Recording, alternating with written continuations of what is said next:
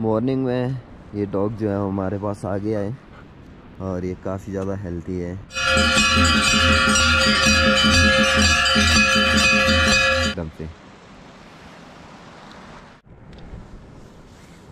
Hello good morning guys welcome to my YouTube channel और सुबह हो चुकी है खूबसूरत से व्यू के साथ, जो कि काफ़ी ज़्यादा अच्छा है। इस टाइम में टाइम हुआ साढ़े छः बजे का टाइम है और आसपास में जो है वो काफ़ी ज़्यादा ठंड है।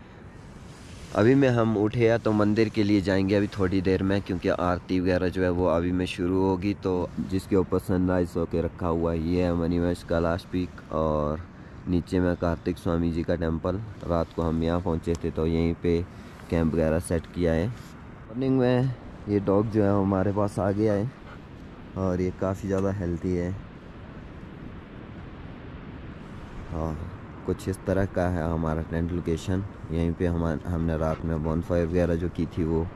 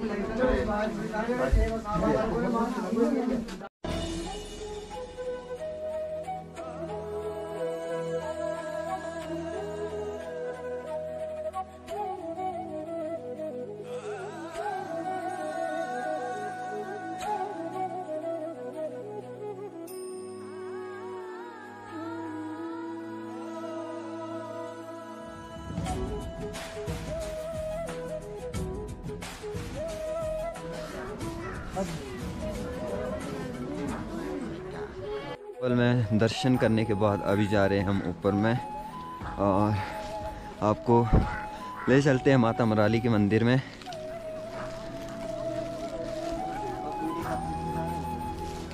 चुप रहे।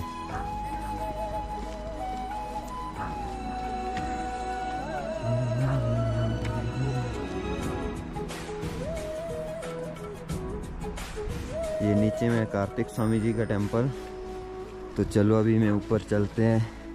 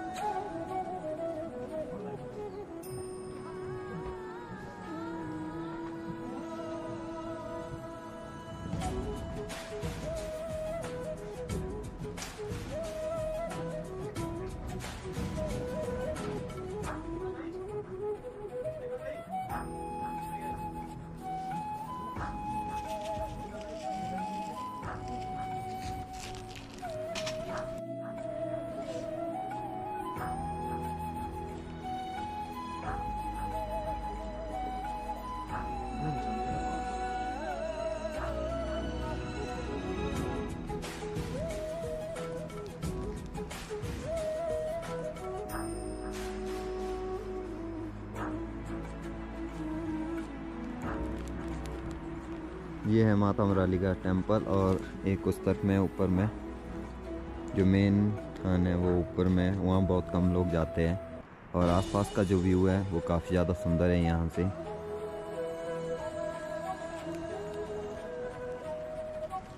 के बाद पहुँच चुके अपने टेंट में। हमारे जो जितने भी गद्दीज हैं, वो केलंग के नाम से इस टेंपल को जानते हैं और काफ़ी अच्छा टेंपल है।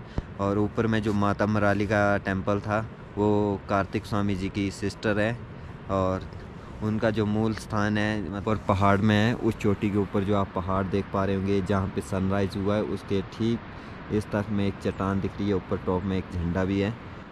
आसपास का चारों तरफ़ का व्यू जो रहता है, वो इस तरह का रहता है। कार्तिक स्वामी टेंपल से ऊपर में हमने टेंट वगैरह सेट किया तो नीच भाई अभी टेंट में बैठे हुए हैं और चारों तरफ़ में काफ़ी अच्छा है। लाहौल स्पीति पास के लिए जहाँ से कार्तिक स्वामी टेंपल से ऊपर के लिए रास्ता है, वहाँ से काफ़ी ज़्यादा आगे और मैं दिखाता हूँ आपको यहाँ से लोकेशन जो रहती है वो काफ़ी ज़्यादा ज़बरदस्त है।